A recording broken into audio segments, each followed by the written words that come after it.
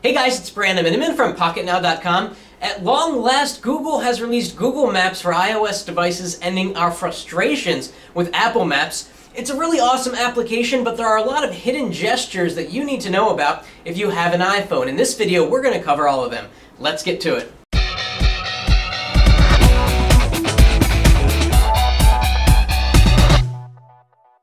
Okay, lots to talk about here, and be sure you subscribe to the Pocket Now Video YouTube channel. That way you know first when we upload new videos. We'll put a link up up here so you can subscribe easily. So let's get into it here. Now, of course, in all Maps applications, you can pinch to zoom, right? Uh, but that's really a two-handed affair. You need to take out your other hand to steady the phone, and then you can do the pinch to zoom.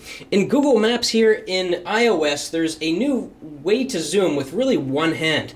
And the way you do that is you double tap and slide. You see that? So you double tap anywhere you want to zoom and slide your finger up and down as if the screen becomes a zoom slider. You can do that with any finger. Just a really handy, convenient way to zoom in and zoom out really quickly uh, if you don't want to use two hands.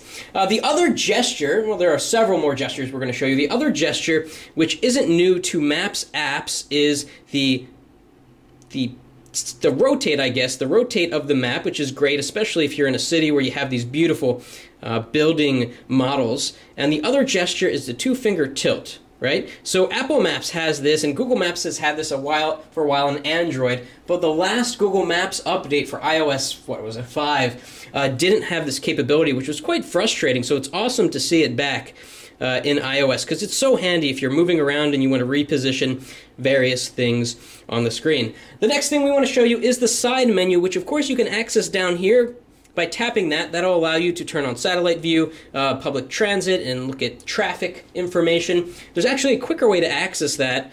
It's not as intuitive. You take two fingers and you swipe in from the center of the screen on the right. So watch.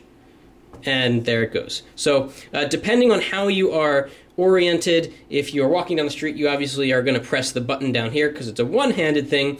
Uh, if you're on a tabletop like I am here, the two-finger swipe seems to work very, very well.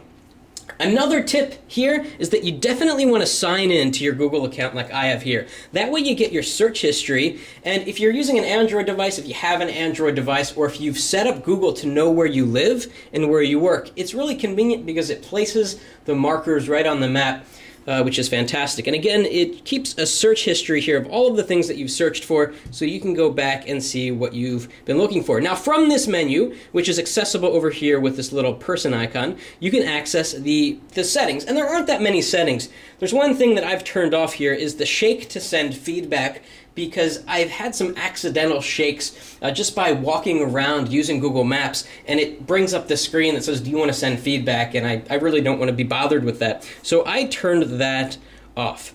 Now, something else that you can do here in terms of gesture, well, let's search for pizza right now. Uh, we're going to search for Pizza New York. And what we get is the map that we're used to and all these points of interest that you can tap on. But another way that you can navigate, and you just saw it down there, is you swipe from side to side to go through all of the different results that you have on the screen here. And it's just a nice way to interact and see the, the marker jump around so you can find out which pizza place is closest to you. And you can, from here, uh, click on the car and it's going to be a long drive. And this is the navigation. It's got real built-in navigation. Uh, the various routes are shown to you, whether you want to uh, take take a route that has more traffic or less traffic, or more tolls or less tolls, and so forth. And you find the one that you want, which leads us to our next tip. When we click Start, what you have here is your guided instructions, and you can swipe here at the top to get a preview of all of the turns that you're going to make. Apple Maps doesn't let you do this, and it's great to be able to like move along your route and see exactly which turns you're going to make and kind of plan your trip and see what's going on that way.